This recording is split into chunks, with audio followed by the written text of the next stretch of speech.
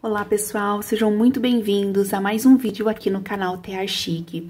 Hoje nós iremos aprender a tecer o ponto turco, tá? É esse ponto aqui, ó. Ele é separado assim por várias carreiras, ó. E em cada carreira tem um quadradinho, tá? Mas ele é um ponto assim que ele fica mais fechadinho, tá? Tá vendo aqui? Ó.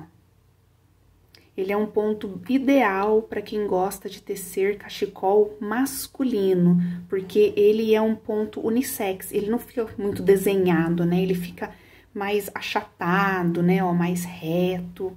Então, ele fica muito bonito para tecer cachecol masculino, tá? Eu utilizei uma cala de 4 centímetros para que ele ficasse assim mais maleável, mais molinho, tá? Se você tecer numa cala menor, ele vai ficar mais apertado e vai ficar menorzinho também.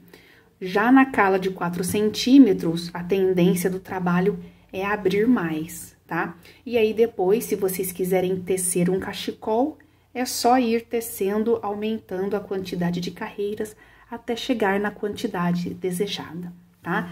Então, se você ainda não é inscrito no canal, Aproveita, se inscreva, deixa o seu like, vai deixando aí nos comentários se tem algum ponto que vocês querem aprender. Se tiver alguma dúvida também, deixa aí nos comentários que eu vou respondendo para vocês, tá? Então vamos lá tecer o nosso ponto turco.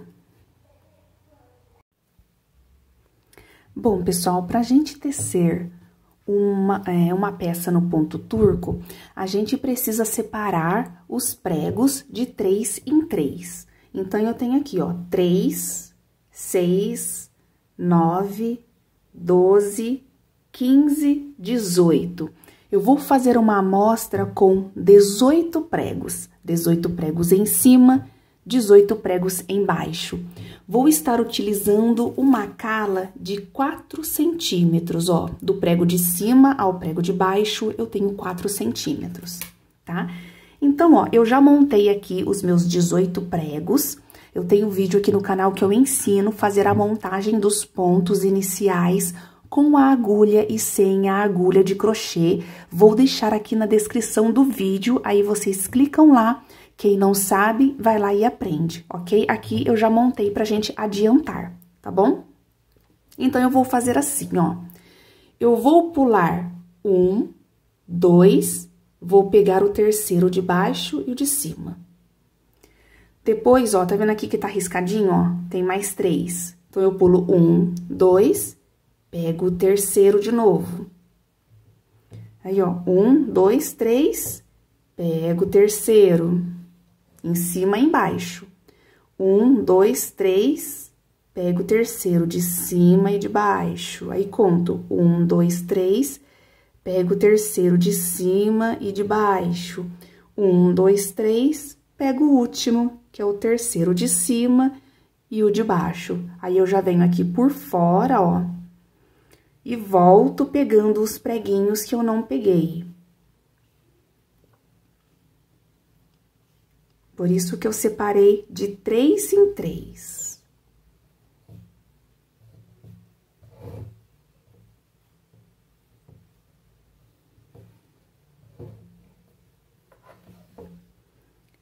Feito isso, eu passo os meus pontos, ó, de baixo para cima. Esse ponto, ele é ideal também para fazer peças masculinas, cachecol masculino. Porque ele já é um trabalho mais reto, não tem muitos desenhos, né? Então, o pessoal gosta mais.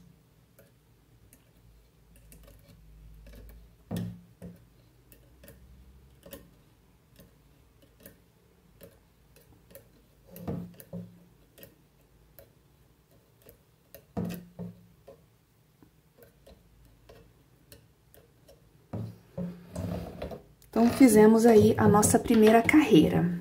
A segunda carreira é a mesma coisa. Tá dividido de três em três, ó. Um, dois, três. Pego o terceiro de cima e o terceiro de baixo. Um, dois, três. Pego o terceiro de cima e o terceiro de baixo. Um, dois, três, pego o terceiro de cima e o terceiro de baixo. Um, dois, três, pego o terceiro de cima e o terceiro de baixo. Um, dois, três, pego o terceiro de cima, o terceiro de baixo. Um, dois, três, pego o terceiro de cima, venho aqui embaixo, já dou a volta por fora para voltar tecendo os preguinhos que eu não peguei, ó.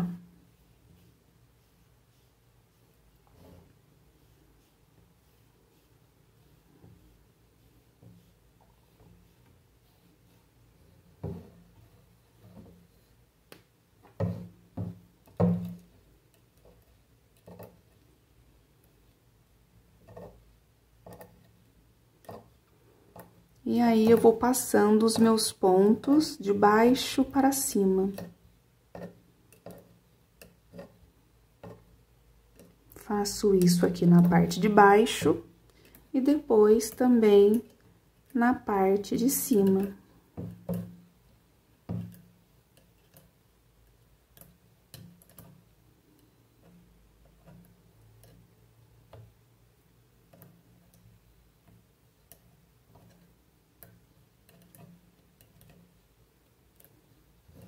É um ponto super fácil, super simples. Aí, ó, fizemos a nossa segunda carreira. Vou fazer mais uma aqui com vocês, ó. Então, eu tenho aqui, ó, um, dois, três, pego o meu terceiro de cima e o meu terceiro de baixo. Conto um, dois, três, pego o terceiro de cima e o terceiro de baixo. Um, dois, três, pego o terceiro de cima e o terceiro de baixo. Um, dois, três, pego o terceiro de cima e o terceiro de baixo. Um, dois, três, pego o terceiro de cima e o terceiro de baixo. Um, dois, três, pego o terceiro de cima, já venho aqui para baixo. E aí, ó, entre eles vão ficar sempre dois vazios, ó. Dois vazios em cima, dois vazios embaixo, ó. Sempre dois aqui. Se ficar assim, você vai ter certeza que o seu trabalho está correto. E aí, você volta preenchendo ó, os dois de cada um que ficou faltando, ó.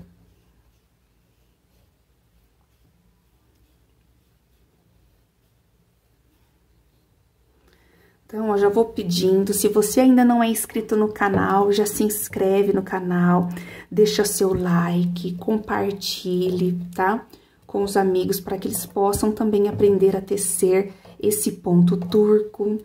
Se tiver algum ponto que vocês queiram aprender, deixe aí nos comentários que eu respondo para vocês, trazendo um vídeo ensinando como fazer o ponto, tá? Trago uma videoaula para vocês.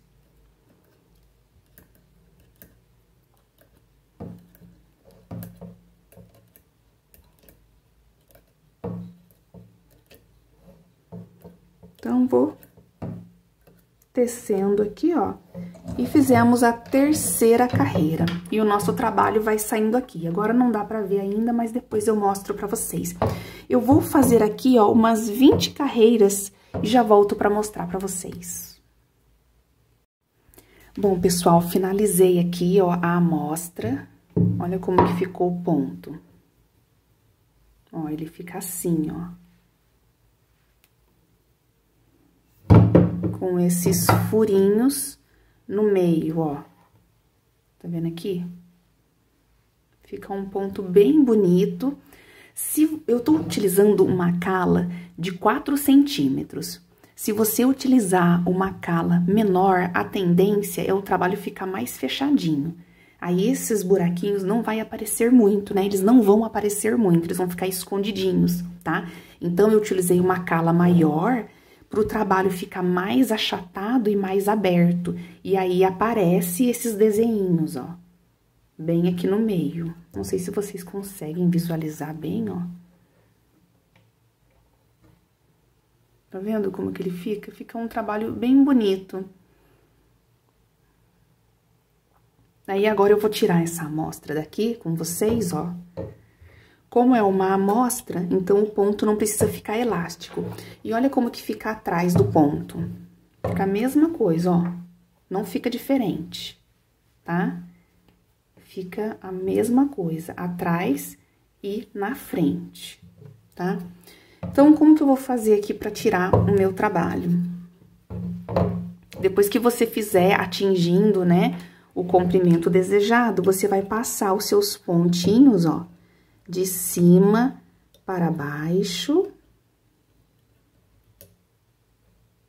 Vai passando aqui, ó, de cima para baixo.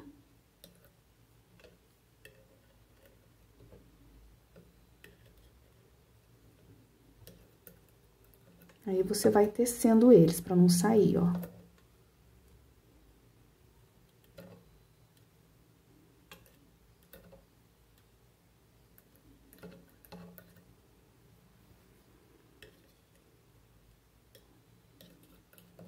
Vai fazendo isso em todos, até chegar lá no último preguinho, tá? Depois que eu já passei todos os meus pontinhos de cima pra baixo, eu faço assim, ó. Esse é meu último prego. Eu pego o penúltimo, passo no último, teço, pego ele e passo para o anterior.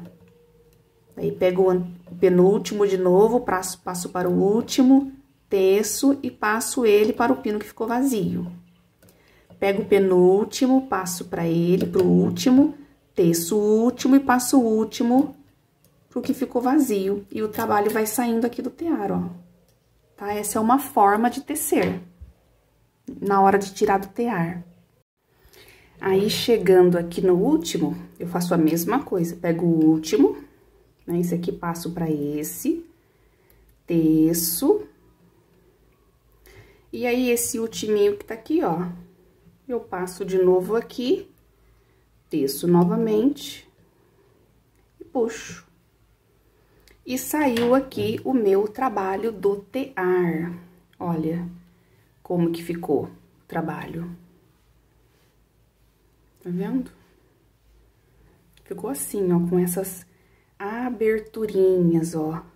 Uns buraquinhos bem bonitinho. E aí, como eu disse pra vocês, se vocês utilizarem uma cala menor, a tendência é o trabalho ficar mais apertado e menor tá? Então, pode ser que esses buraquinhos, eles acabam ficando mais apertadinhos e não aparecem. Utilizando uma cala de 4 centímetros, aí, ó, ele já fica mais aberto, mais achatado, tá? Fica assim. E aí, se vocês forem tecer um cachecol, ó, 18 pregos tá dando aqui 18 centímetros. Então, é uma, uma largura boa para cachecol adulto. E aí, é só vocês fazerem o comprimento que vocês desejarem, tá? Se quiser aquele bem compridão de 1,80m, aquele que, nossa, bem grande, fica bem bonito também. Mas aí vai do gosto de cada um, se quer um menor, um maior, né? Mas daí, ó, com 18 pregos, deu aqui 18 centímetros, tá? Porque daí vocês podem me perguntar, ah, quantos pregos que eu posso utilizar para adulto? Para adulto, para mim, esse daqui seria o ideal. Para infantil, ó, vocês podem diminuir 3, 6. Podem diminuir 6 pinos, 6 pinos, ó, 6 pregos. Que daí vai dar mais ou menos aqui, ó, uns 11 centímetros para cachecol infantil tá? Eu acho que fica bom também. Mas é isso, tá? Então, ó, não esqueça de deixar o like de vocês, não se esqueçam de se inscrever no canal. Deixe aí nos comentários o que vocês acharam desse, desse ponto, se você gostou, se tem algum ponto novo que você gostaria que eu fizesse a videoaula para vocês aprenderem, tá? É só deixando aí nos comentários qualquer dúvida que eu vou respondendo para vocês. Então é isso, pessoal. Um forte abraço e até o nosso próximo vídeo.